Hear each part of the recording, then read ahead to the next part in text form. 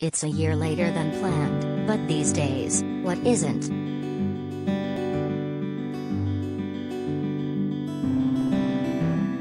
In 2020, the Doobie Brothers conceived the ideal gift for fans, a 50th anniversary tour featuring Michael McDonald, John McFee and founding members Tom Johnston and Patrick Simmons for the first time in nearly a quarter of a century.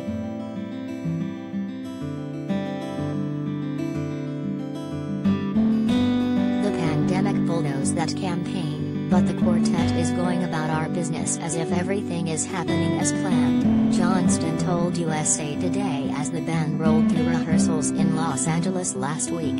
I'm not thrilled about touring with everything with COVID, but I also want to go out because we haven't been on the road in a year and a half.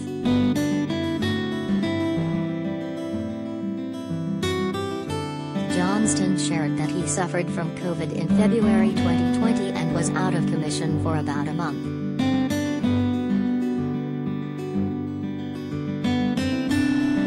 Garth Brooks, Neil Young cancel shows.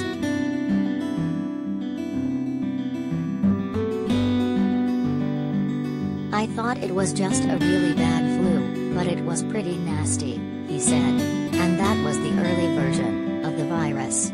So as soon as the vaccine was available, I was banging on the door.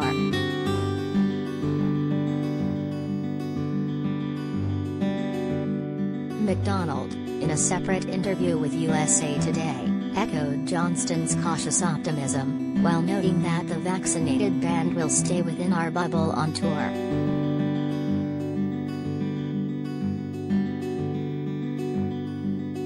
It's so precarious, this whole situation, with COVID, nationwide, so we don't know what to expect.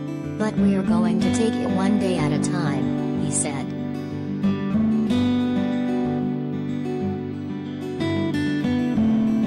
The 49 City Tour kicks off Sunday at the Iowa State Fair before wrapping in late October. More than dozen shows on the 50th anniversary outing have bounced to 2022 for scheduling purposes.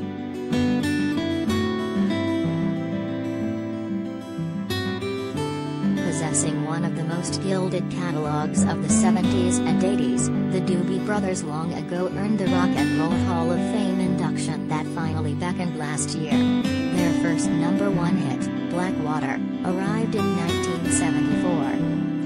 years later, 1979, the band would strike the top again with the McDonald-fronted What a Fool Believes. Before and after their number ones brought China Grove, Listen to the Music, Minute by Minute, and numerous other pool hall jukebox staples until their last major hit in 1989, The Doctor.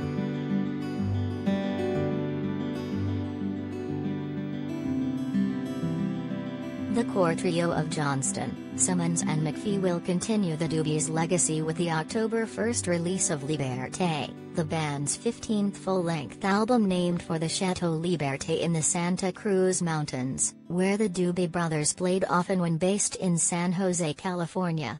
A self-titled EP featuring four of the dozen tracks on the new album is available now.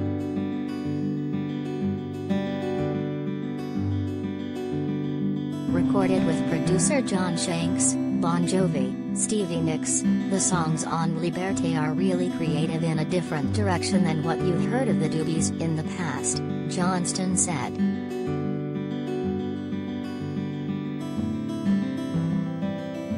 McDonald isn't part of the new recording, but his rejoining the band for a series of live shows was an idea first floated by Johnston about 13 years ago. At the time, McDonald was preparing the release of his eighth solo album, Soul Speak, and couldn't commit to the road.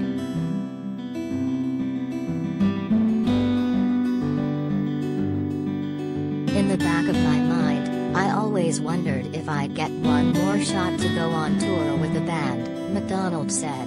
I still feel like some of my solo songs would have been great Doobies tracks. Like Half Truth, from 2017's Wide Open album. Leading up to now, when I'd play with the guys, I always felt like the drunk who wandered on stage who had written some songs. But it's been fun for me to rehearse with the band. I think I even made the mistake thinking that some things would be easier than they turned out to be.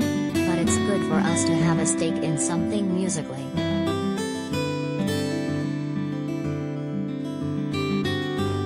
Johnston still appreciates McDonald's hilarious personality and praises him as an incredible singer and player, while also acknowledging how McDonald's tenure in the Doobie Brothers, starting in 1975 with periodic pop-ins through the decades, transformed the band's sound.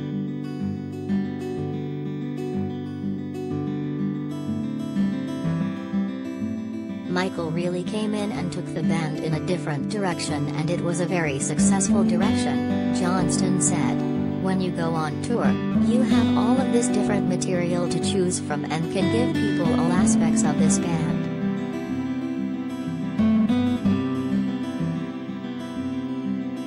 The Doobie Brothers' extensive hit list will drive the spirit of their live shows, but McDonald is also honing his accordion and mandolin skills to play 70s album tracks Spirit, South City Midnight Lady and Clear as the Driven Snow.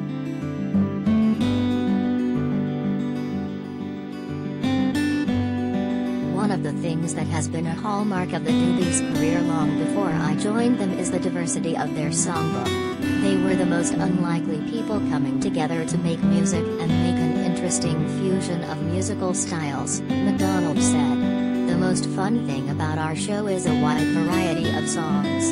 And somehow, we've always found a way to thread it all together live.